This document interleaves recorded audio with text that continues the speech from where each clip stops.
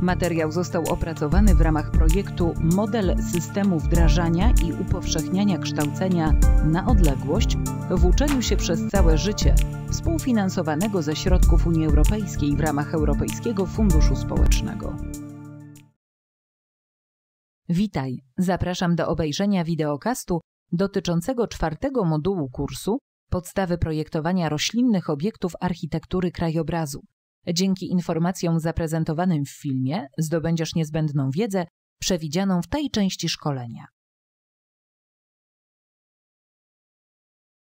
Niezmiernie istotnym czynnikiem wpływającym na estetykę kompozycji roślinnych jest ich kolorystyka.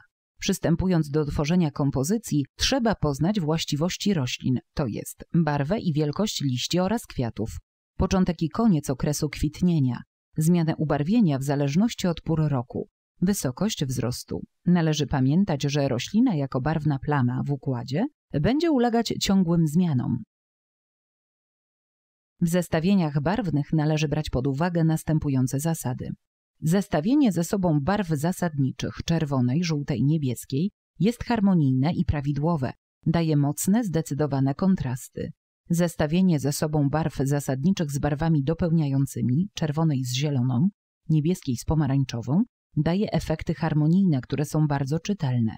Zestawienie barw zasadniczych ze złożonymi, czerwona z pomarańczową lub fioletową, żółtej z pomarańczową, może powodować, że kompozycja będzie mało przejrzysta i czytelna, stąd najlepiej przedzielić takie kompozycje kolorem neutralnym, to jest bielą, szarością lub czernią.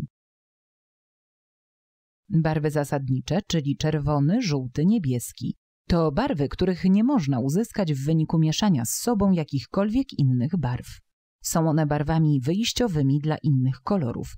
Na przykład żółty plus niebieski równa się zielony. Barwy dopełniające to pary barw, które połączone ze sobą w równych proporcjach dają, w zależności od metody łączenia, czerń, biel lub szarość, na przykład czerwona i zielona, fioletowa i żółta. Barwy złożone są to wszystkie barwy widziane przez człowieka, występujące w naturze. Czasami kombinacje barw w naturze mogą dać wrażenie tego samego koloru. Różnice pojawiają się dopiero po zmianie oświetlenia. Barwy w kompozycji organizują również przestrzeń. Odpowiednio rozmieszczone potęgują wrażenie oddalenia lub bliskości. Elementy o barwach jaskrawych, czerwień i jej pochodne, oraz jasnych, żółta i jej pochodne, potęgują wrażenie bliskości.